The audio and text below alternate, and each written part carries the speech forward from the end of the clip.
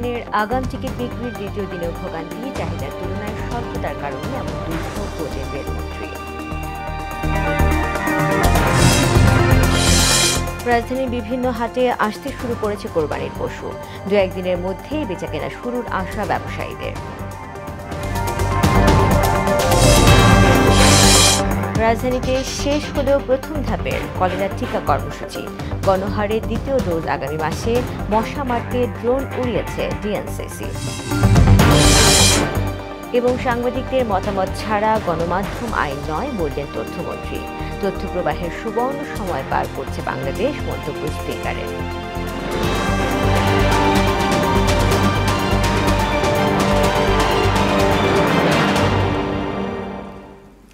আসসালামু আলাইকুম মোহনা সংবাদে সবাইকে স্বাগত। শুনছিলেন শিরোনাম, সঙ্গে আছি তাসমিয়া জেরিন। এবার বিস্তারিত। এই যাত্রায় ট্রেনের আগাম টিকিট বিক্রিতে ভোগান্তি কাটছেই না। দ্বিতীয় দিনের টিকিট বিক্রিতে ভোগান্তির চিত্রটি ছিল প্রকট। হুড়োহুড়ি কারাকারিতে, কারাকারির মধ্যেই এদিন দেয়া হলো ছয় জুলাইয়ের টিকিট। রেলপথ মন্ত্রী নুরুল ইসলাম সুজন জানান, চাহিদার তুলনায় টিকিটের স্বল্পতা থাকার কারণেই এমন ভোগান্তি। সক্ষমতা বাড়ানো গেলেই দুর্ভোগ কমে আসবে। হুমায়ুন কবিরের রিপোর্ট। শুক্রবার টিকিট পেতে ব্যর্থ হয়ে আর ঘরে ফিরে যাননি। থেকে গেছেন ঢাকা রেলওয়ে স্টেশনেই এমন মানুষের দেখাও মিলেছে কমলাপুরে। গতকালকে আমি অনলাইনে টিকিট হচ্ছে কাটছি।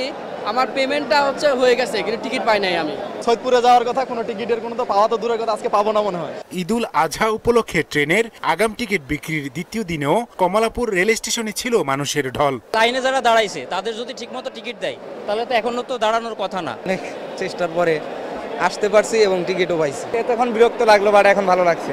এদিন মহিলা কাউন্টারে ভিড় ছিল তুলনামূলক কম। প্রতিবন্ধীরাও ঝামেলা ছাড়াই সংগ্রহ করতে পেরেছে টিকিট। টিকিট নিতে খালি আইডেন্টি কার্ড লাগছে।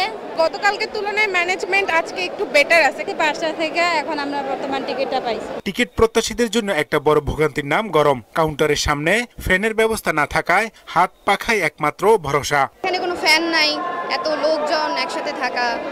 এটা একটা ভোগান্তির মধ্যে আছে এখানে একটা ফ্যানও নাই। আমরা গরমে কালকে রাত থেকে আমরা প্রায় দুইটা তিনটা থেকে আমরা অনেকে এখানে আছি। এদিকে কমলাপুরে এক অনুষ্ঠানে যোগ দিয়ে রেলমন্ত্রী নুরুল ইসলাম সুজন জানান অবকাঠামোর পাশাপাশি সক্ষমতা বাড়ালে ভোগান্তি অনেকাংশে কমে আসবে। আপনার যে চাহিদা এবং আমাদের যে সক্ষমতা এই দুটোর মধ্যে যে ফারাক এটা যতক্ষণ পর্যন্ত আমরা কমাতে না পারব ততক্ষণ পর্যন্ত কিন্তু এই পরিস্থিতি থেকে আমরা খুব বেশি উত্তরণ করতে পারব না। মহিলাদের ভোগান্তি কমাতে কাউন্টারের সংখ্যা বাড়ানোর বিষয়টি বিবেচনা করা হবে বলেও জানান মন্ত্রী। আমরা চেষ্টা করছি আপনারা সহযোগিতা করেন। হুমায়ুন কবির মোহনা সংবাদ ঢাকা। প্রস্তুতি পুরোপুরি শেষ না হলেও রাজধানীর বিভিন্ন হাতে আসতে শুরু করেছে কোরবানির পশু। ব্যবসায়ীরা বলছেন কাল পরশুর মধ্যেই শুরু হবে বেচাকেনা জানলোটে দৌরাত্ম বন্ধ ও লেনদেনের সুবিধার্থে এবার ঢাকা উত্তর সিটির ছটি হাটে ডিজিটাল লেনদেন সুবিধা চালু করা হচ্ছে। শামীমুজ্জামান চৌধুরীর রিপোর্ট। ঈদুল আজাহার বাকি আর মাত্র কয়েকদিন।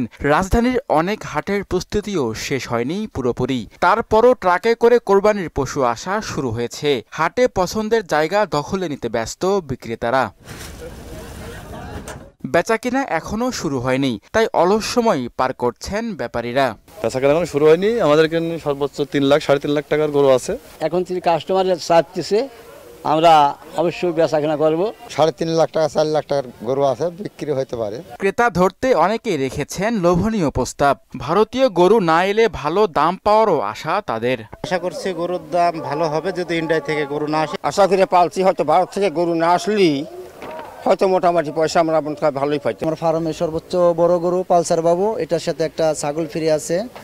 আর এই তারপর একটা হলো বিএমডাব্লিউ এটার হাতেও আরেকটা ছাগল ফ্রি আছে। হালচাল দেখতে অনেক ক্রেতা আসছেন হাটে। প্রাথমিক বিবেচনায় এবার পশুর দাম চড়া বলে জানান তারা। দামটা গতবারের থেকে অনেক বেশি। গতবার থেকে প্রায় ফর্টি পার্সেন্ট বেশি। সার্বিক নিরাপত্তা ব্যবস্থা নেওয়ার পাশাপাশি লেনদেনের সুবিধার্থে ছয়টি হাটে বসানো হচ্ছে ডিজিটাল বুথ। হাটে সব ধরনের ব্যবস্থা নেওয়া হয়েছে সিসি ক্যামেরা এবং আমার হাটে আইন শৃঙ্খলা বাহিনী আছে তারাও আমাদের হেল্প করছে।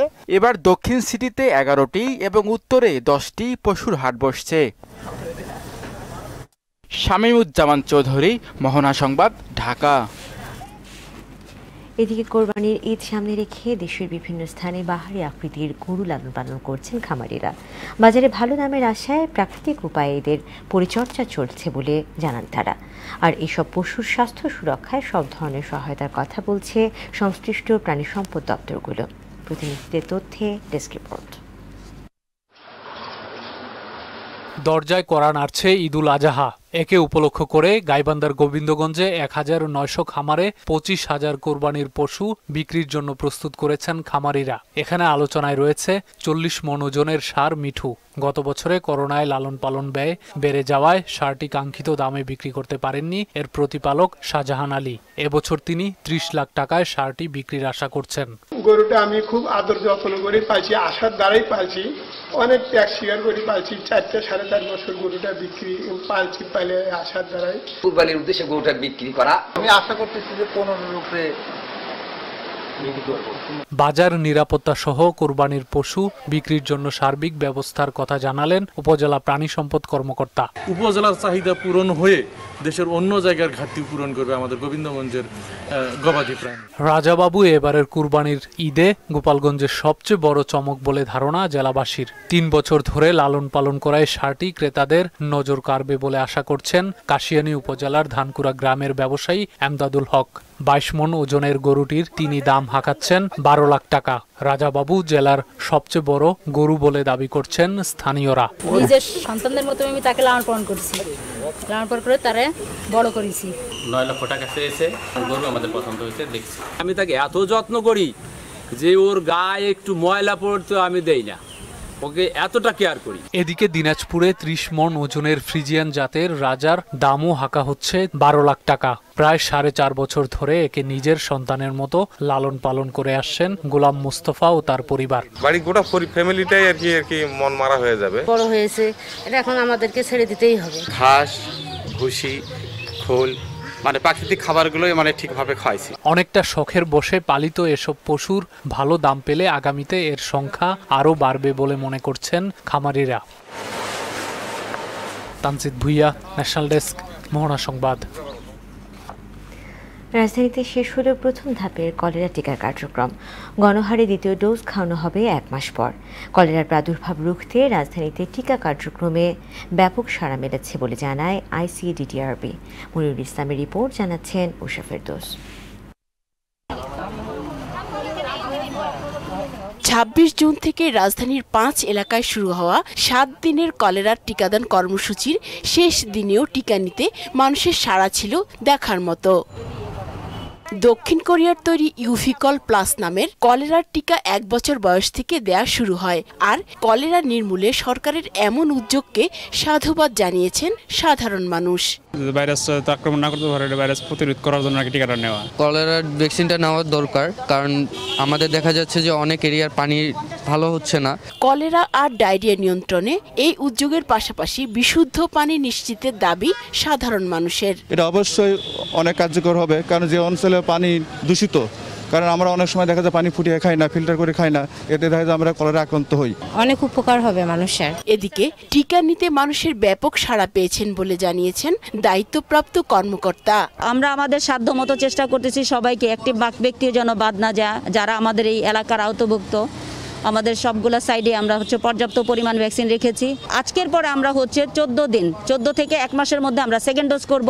চলমান করোনা সংক্রান্ত সতর্কতা অবলম্বন করে রাজধানীর মিরপুর সহ কলেরা প্রবণ ছয় এলাকার তেইশ লাখ মানুষকে কলেরা টিকার আওতায় আনার লক্ষ্যমাত্রা স্থির করেছে সরকার। উষা ফেরদোস, মোহনা সংবাদ, ঢাকা। মশা যন্ত্রণা থেকে রাজধানীবাসীকে মুক্তি দিতে ড্রোন প্রযুক্তির ব্যবহার শুরু করেছে ঢাকা উত্তর সিটি কর্পোরেশন। আগামী দশ দিন ড্রোনের সাহায্যে সংগৃহীত ছবি দেখে তৈরি করা হবে ডেটাবেস, যা আগামী বছর মশক নিধন কার্যক্রমে কাজে আসবে। উত্তরা ছাড়াও প্রথম দিন উত্তর সিটির আরও পাঁচটি স্থানে অভিযান চালানো হয়। সাংবাদিকতার পরিপন্থী, কোনো আইন না করতে সরকারের প্রতি আহ্বান জানিয়েছেন সাংবাদিক নেতারা। ব্রডকাস্ট জার্নালিস্ট সেন্টার বিজেসির তৃতীয় সম্মেলনে এ আহ্বান জানান তারা। জবাবে তথ্য সম্প্রচার মন্ত্রী হাসান মাহমুদ বলেন, সাংবাদিকদের মতামত ছাড়া গণমাধ্যম আইন পাশ করা হবে না। এতে স্পিকার শিন শারমী চৌধুরী বলেন, বর্তমানে তথ্য প্রবাহের সুবর্ণ সুযোগ পার করছে বাংলাদেশ। মান্ড হোসেন পেন্ডুর report.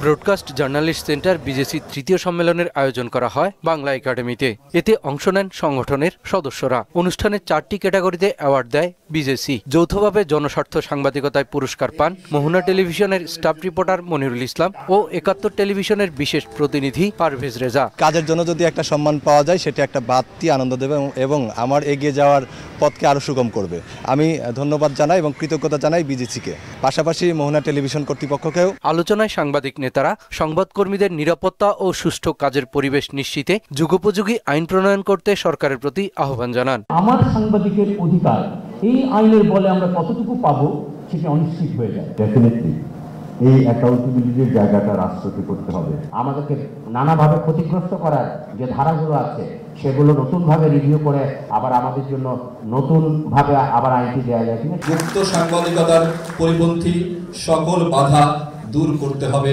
অন্তত মেজর জায়গাগুলি কারেক্ট করে আমরা যদি টেলিভিশন সাংবাদিকদের জন্য একটা ওয়েব বোর্ডের মধ্যে আসতে পারি তাহলে পরে একটা ডিসিপ্লিনের মধ্যে আমরা আসলাম।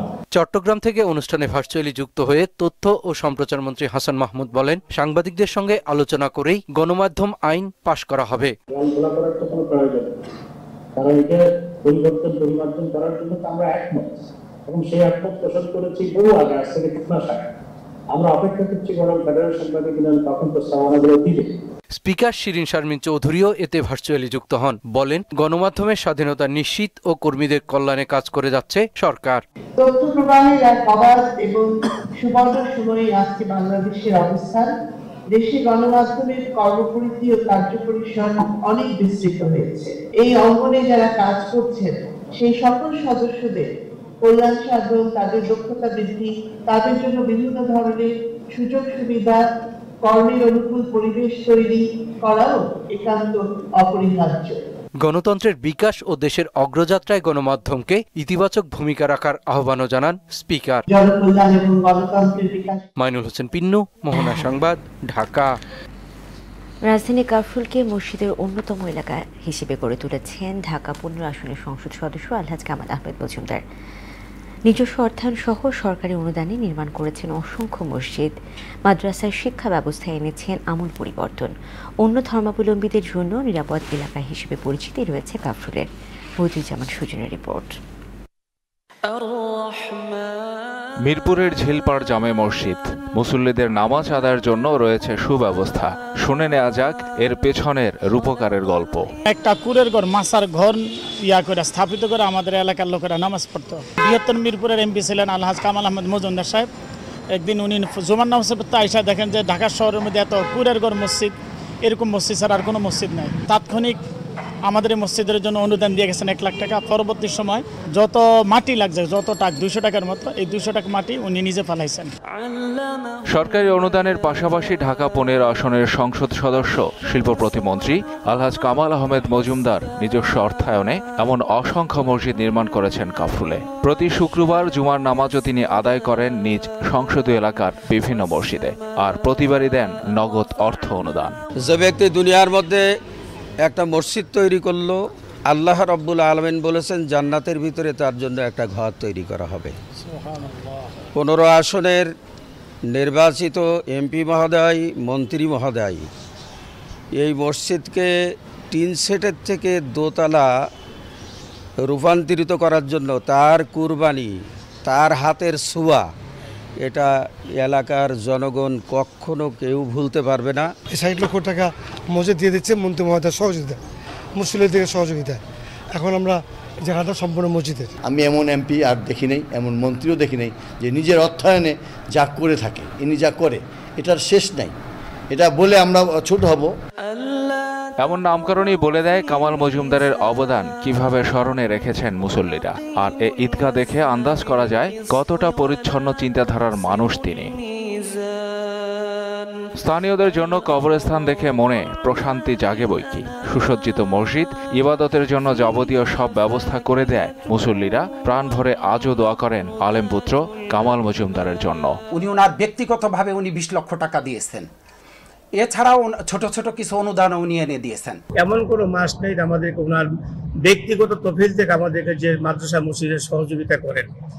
আমাদের রাহাত হোসেন তাফিজুকুরের মাদ্রাসা ছাত্রদের জন্য উনি চাল দিয়েছেন। টাকা দিয়েছেন। মাদ্রাসা শিক্ষা ব্যবস্থাতেও এনেছেন ডিজিটালের ছোঁয়া। শিক্ষাকে আরও বেগবান করতে কামাল মজুমদার নিজ অর্থায়নের প্রতিষ্ঠা করে দিয়েছেন পাঠাগার। মেধাবী শিক্ষার্থীদের বৃত্তি প্রদান করেন নিজ অর্থে। এছাড়া এতিম ও দুস্থ শিক্ষার্থীদের জন্য সর্বদা জাগ্রত থাকে কামাল মজুমদারের কোমল হৃদয়। ওনার আব্বার নামে আমরা একটা রুম করছি। ওনার অনুদানে হাফসখানা। একশো তিরিশ জন ছাত্র চব্বিশ ঘণ্টা কোরআন তেলাওয়াত করতেছে সে জায়গায়। এতিমদের প্রতি উনি খুব দয়াবান এবং কোরবানি তো একটা গরু দিয়েছেন। এর আগে কোরবানিতে একটা গরু দিয়েছেন মাদ্রাসা। উনি দ্বিতীয় আছেন, একের পর এক। ওনাকে আমরা জমানার হাতেম তাই বলতে পারি। যখন আমি প্রথম শুরু করি, তখন ওনার দামরাই ব্রিক ফিল ছিল। ওখান থেকে আমি যাই ব্রিক ফিল্ড আনা শুরু করি। ওই থেকে আরম্ভ করে আমরা প্রথম শুরু থেকে আরম্ভ করি শেষ পর্যন্ত ওনার অনেক অনুদান আছে এগুলি ভাষায় ব্যক্ত করা যাবে না। বিশেষ করে সামাজিক কাজও উনি সব সময় আমাদেরকে সহযোগিতা করেন। আমাদের যে কোনো কাজের জন্য গেলে উনি আমাদেরকে যথেষ্ট সহযোগিতা করেন একশো বস্তা চাউল তো প্রায়ই দিয়ে থাকে উনি আমাদেরকে। এলাকার হিন্দু, বৌদ্ধ, খ্রিস্টানদের নিরাপত্তা নিশ্চিতের পাশাপাশি তাদের ধর্মীয় উৎসব পালনে নিজ তহবিল থেকে অনুদান দিয়ে থাকেন কামাল মজুমদার।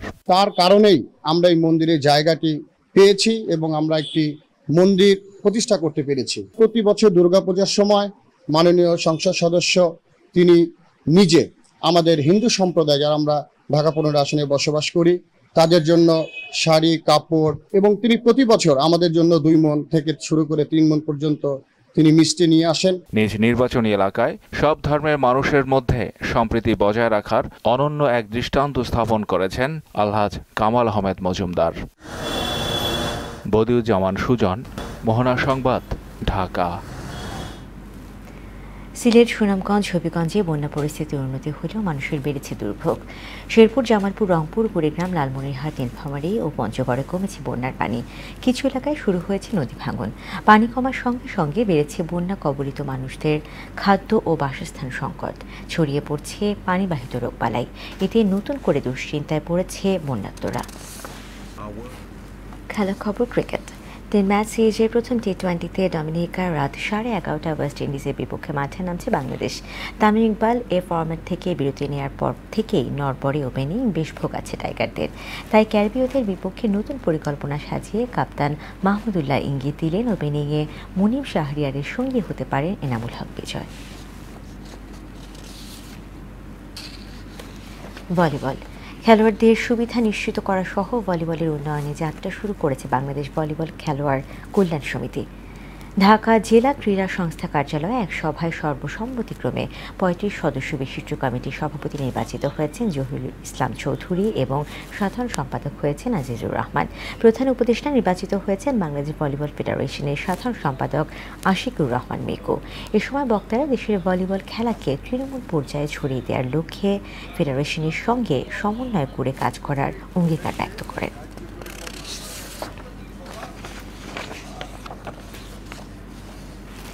শেষ করব মোহনা সংবাদ যাবার আগে স্বর্ণপুর আরও একবার।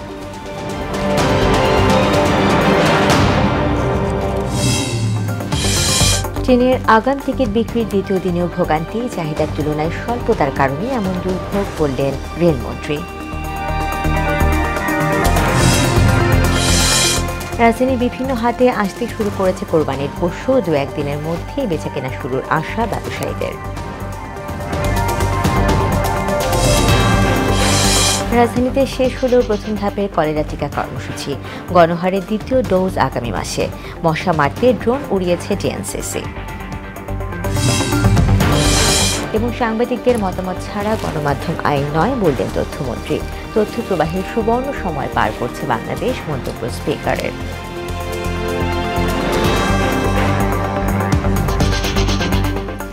দর্শক, এই ছিল মোহনা সংবাদ। পরবর্তী সংবাদ রাত বারোটায়। এছাড়া মোহনার সবশেষ খবর জানতে ভিজিট করুন W W W dot Mohona dot TV সংবাদ দেখতে পারেন আমাদের ফেসবুক পেজ ও ইউটিউবেও এতক্ষণ সঙ্গে থাকার জন্য ধন্যবাদ।